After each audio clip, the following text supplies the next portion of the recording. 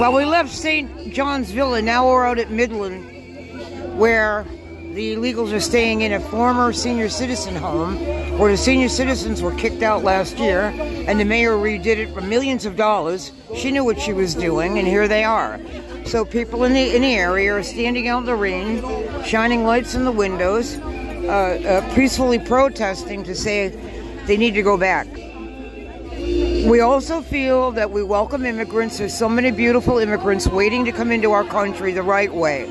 Learned English, studied the Constitution, want to contribute to America and the community in which they settle in, and they're being shoved aside and ignored just like the American people.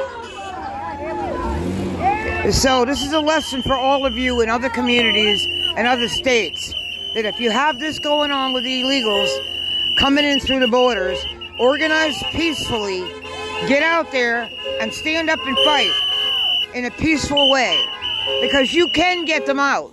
But sitting back and playing keyboard warrior, guys, doesn't do anything. Get out there. Get out there and stand up for your, your, your country, your community, your state, your city, your town. You can do it. Because if you sit back and do nothing, this is a, this is in the long run a communist takeover, guys. So be inspired by this because you can do it. Every state, every town, every city, if you have illegals, many of many of them are criminals, drug lords, cartels, gangs. You gotta stand up and you gotta get them out. You want to protect the children.